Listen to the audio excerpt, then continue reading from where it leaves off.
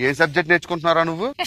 History Alexander ఎప్పుడు వచ్చారా ఇండియాకి? అర్ధరాత్రి. పూట కాదురా. ఒక డే టు టైం ఉంటది. బ్రిటిష్ వాళ్ళు ఎందుకు వచ్చారు? Spoken English class నేర్పేనికి.